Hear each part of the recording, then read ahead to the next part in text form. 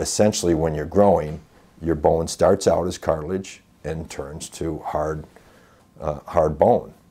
And that is a process that occurs throughout your growing years. Uh, and those growth areas are made out of cartilage. Well, cartilage is weaker than bone. So typically, if you're going to end up breaking a structure, it's going to break at the weakest area. That weak area is the cartilage. That's why growth areas uh, are injured very often compared to regular standard fractures. Every growth plate in the body is going to have its own characteristic, and so it's going to behave differently.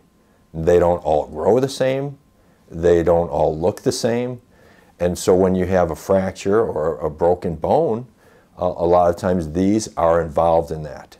And even if the injury is not through the growth area, it is into the bone and it still does affect the growth.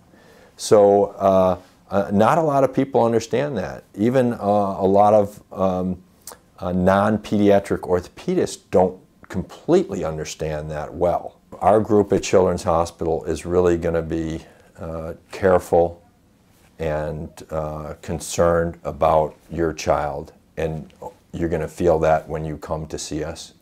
And, and uh, not only do we have the training, not only do we have the expertise, not only do we see all these children all the time that have these kind of problems, but we are dedicated to making sure that you get the right treatment all the time.